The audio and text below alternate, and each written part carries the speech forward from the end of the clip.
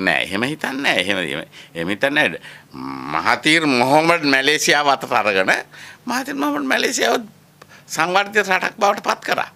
ඩෙන්සියාව පිං මාව සේතුන්ගේ මුළු යුගයේම චීන ආර්ථිකය හදන්න බැරුණා ඩෙන්සියාව පිං චීනය අතට අරගෙන චීනය ලෝකෙ මහා බලවතා කරන්න අද ඇමරිකාවටත් උඩින් යන තැනට චීනය හැදුවා.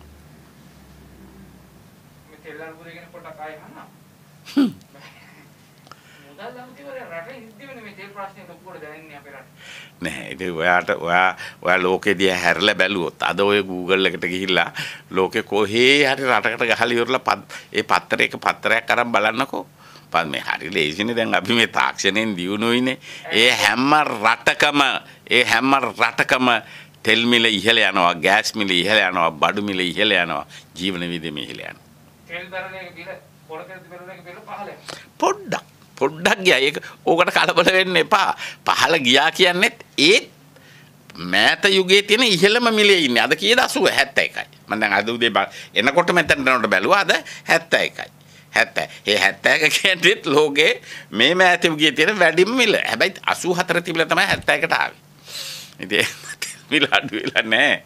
අඩු වෙලා නැහැ. ඒක තව ටික කාලයක් මේ ප්‍රශ්නේ ඇද. ඒකට හේතුවක් තියෙනවා. ඒකට හේතුවක් තියෙනවා. ලෝකේ තාමත් අර්බුදයක ඉන්නේ. නිෂ්පාදන අර්බුදයක ඉන්නේ. ලෝකේ බඩු බෙදා හැරීමේ අර්බුදයක ඉන්නේ.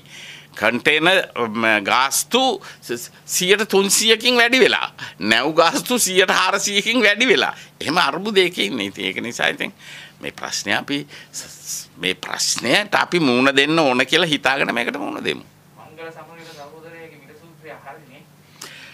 මෙහෙම මිල සූත්‍රයේ හරියක් වැරදියක් මම කියන්නේ හැබැයි මම කවදාවත් කිසිම දවසක කිසිම බහණ්ඩයකට ඔය විශේෂයෙන් පාරිභෝගික භාණ්ඩ වලට සහනාධාර දෙනවට එකඟ නැහැ. අපි වතුර ලාභෙට දෙන්න. අපි වතුර වලට යන වීදමට වඩා අපි ලාභෙට වතුර දෙන්නේ. ඉතින් ඒ නිසා අපි මොකද කරන්නේ? රැවුල කපනකොට ටැප් එක අරගෙන රැවුල කපනවා. අපි නානකොට විනාඩි 5න් නාලා ඉවර කරන්න පුළුවන්කට විනාඩි 20ක් විතර ඔළුව අල්ලන් ඉන්නවා. එහෙම නෙමෙයි වතුර වලට යන වියදම අපි මිනිසුන්ට හරියට මිනිසුන්ගෙන් අය කරනවා මිනිසුන් ප්‍රවේශම් නැහැ. මිනිස්සු වතුර නාස්ති කිරීම අඩු කරයි. විදුලිය. අපි ඔහේ ලයිට් දාලා තියෙනවා. ඔහේ ලයිට් දාලා තියෙනවා. හැබැයි විදුලිය විදුලියට යන විදුලිය අපි සහනාධාර විදියට දෙන්නේ. විදුලියට යන වියදම මිනිසුන්ගෙන් අපි අය කරනවා නම් මිනිස්සු විදුලිය ප්‍රවේශම් වෙයි. මිනිස්සු විදුලිය අයන් එක ප්‍රවේශමෙන් පාවිච්චි කරයි. කුකස් වෙනම ප්‍රවේශමෙන් පාවිච්චි කරයි. අපි ඒකට පුරුදු වෙන්න ඕන. අපි ඒකට පුරුදු වෙන්න ඕන.